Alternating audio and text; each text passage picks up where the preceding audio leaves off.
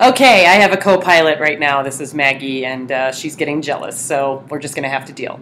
Okay, so the next part of our um, notes is going to talk about lipids. And lipids are going to be really important because that's what our cell membranes are made of. That's what a lot of our steroids and things like that are made of, our um, hormones. So they're very, very, very important. Um, so these guys are going to be different because they don't have those repeating monomers like the other ones that we've talked about. So that's going to be a little bit different. Um, now, if we take a look, if we take a look at um, this slide right here, you can see up here we've got a saturated lipid, and down here we have unsaturated. So I'll give you a couple minutes, and hopefully you can tell the difference between saturated versus unsaturated. So one thing, hopefully, that you've noticed is that the unsaturated is going to be bent, right? And where it bends, there's actually a double bond. So that's going to be important when we talk about um, the sources that they come from and why they look a certain way chemically. Now, um, the saturated here, you can see that's all single bonds and it doesn't have that kink. So the unsaturated one has a double bond and a kink. And also, if you look, because it has that double bond, it's going to have less hydrogen. Now, as far as where they come from, um, saturated fats, which are going to be the one that was straight, are going to come from animal fats. And so these are going to be solid at room temperature, as opposed to an unsaturated fat, which is going to have that double bond in the kink, that's going to be liquid at room temperature. Now, the reason for that is because I like that previous one better. Um, the saturated fat, which is going to be solid at room temperature, they're going to be solid because they're straight and they can just kind of build like building blocks right on top of each other, no problem. Whereas the unsaturated ones, you can see how this has that little kink, so they can't really stack up very evenly, and that's why they're a liquid at room temperature. Now, we tend to think of saturated fats as the ones that are a little bit more dangerous as far as like heart health and stuff, and that's because saturated fats can stack up really nicely like that right along your arteries, and they can eventually clog them. So that's why they're a little bit worried about them as far as health-wise goes.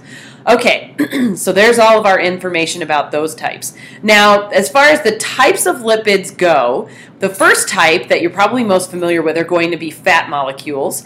And so these are going to be hydrocarbons. So hopefully you can put that together and say, okay, hydro, that means hydrogen, and carbon obviously means carbon, um, that are going to be about 16 18 carbons long.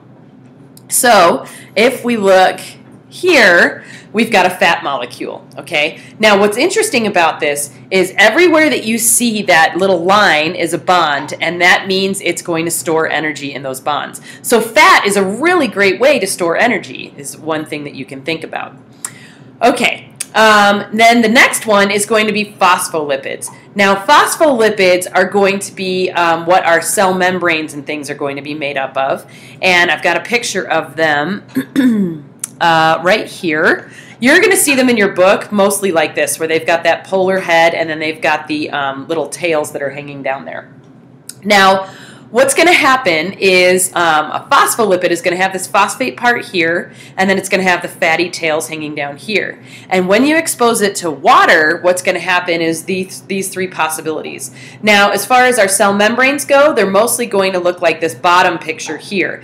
And so if you think about it, down here would be the inside of the cell, up here would be the outside of the cell, and there's going to be water inside and outside. And so what's going to happen is the little ball parts there are going to be the ones that like water, so they're going to face the water. And then these hydrophobic tails are all going to be in the center away from the water, right?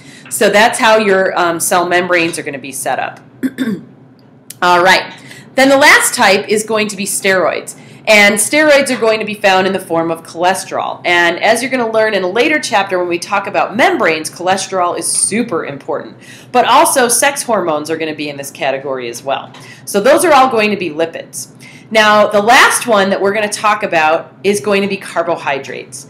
And carbohydrates are going to have a ratio of 1 to 2 to 1 for carbon, hydrogen, and oxygen. So you can see here C6H12O6 if we were divide if we were to divide all of these by the number six, it would be one to one, and that's what I mean by the ratio of one to two to one. So let's say you had something that was C12, then it would be C12H24O12, right? So it's always that one to two to one ratio. So the building blocks of carbohydrates are going to be monosaccharides. So just like in all those other drawings I've done, the, the little circles would be monosaccharides. I'm not even going to try and draw that because that's such a long word and it'll never fit. Um, so those are going to be single molecules of sugar. Then you've got disaccharides. And disaccharides, just like it sounds, are going to be two monosaccharides together.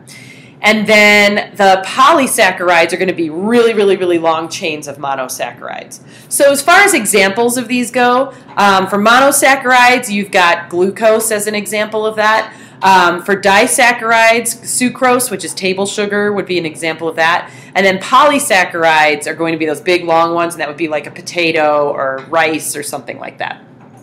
Okay, so once again, they're going to have a special name for the bond between the monomers, and that's going to be a glycosidic linkage for these ones, okay? So I know you'll hate it, but I'm going to draw it out anyway because I know how much you just must love my awesome art. So uh, I'm going to clear this. So once again, we've got our, um, whoops, what did I do? Oh no, it went away. Um, let's see. There it is. Okay, so we've got our, um, oh, whoops, I keep doing that. I'm so sorry. Okay, technology is scary to me. Okay, so we've got OH, then we're going to have our monomers, and H on this side. So in here are going to be our monosaccharides, right? I'm just going to say mono because that's all that's going to fit in here. And then we're going to have a special name for the bonds there, and that's going to be that glycosidic linkage, right? So that's going to actually link these together. Okay, so that's the special name for the bond that they have. Okay, so um, one thing about these polysaccharides is they're going to have two functions. They can either be used for storage or for structure. So if we're going to use them for storage, in um, plants, they're going to be in the form of starch. Um, in animals, it's going to be in the form of glycogen. So, glycogen is how we can store energy in our liver. We really don't have a lot of it. We've got about enough for like one day of energy. Um, but that's going to be the difference between animals and plants as far as storage uh, polysaccharides go. Then, structurally, we can have it in the form of cellulose, which is going to be what makes plant cell walls. So, that's going to be in plants or it can be in the form of chitin. And chitin, I've got a picture here I can show you. I keep going here. Um, chitin is going to be what makes up the exoskeleton of all these organisms that you see here. So we don't have chitin in us, but if we were going to have an exoskeleton, that would probably be what it would be made of. Um, so that's going to be how that works. Now, one thing that we call cellulose in the dietary world is we call it fiber. And um, if you think about when you eat a lot of fiber, right, that kind of goes right through you. And that's because we don't have the enzymes to digest cellu cellulose. Now, some organisms that eat a lot of cellulose, so a lot of like herbivores, they're going to actually have special enzymes in their stomachs to help them digest that cellulose, to help them break that down. Um, so we don't have that enzyme, so that's why we can't digest it. Okay, now just down here at the bottom, I thought it would kind of be helpful to have the names of the different macromolecules that have that like monomer um, making up the polymer setup. So um, let me make this a tiny bit smaller so you can actually see it all in one. There we go. So for macromolecules, we have proteins, nucleic acids, and carbohydrates. The one that's left off of here is going to be lipids, and that's because those don't have those building blocks. So for proteins, the building blocks will be amino acids, and the name for the bond between the amino acids is going to be a peptide bond. For nucleic acids, the name of the building blocks will be nucleotides, and the name for the covalent bond between them is a phosphodiester bond. Then finally, carbohydrates, the building blocks will be monosaccharides, and then the name of the bond between them is a glycosidic linkage. So I just thought it would be easier to see that in a table to kind of help you figure that out.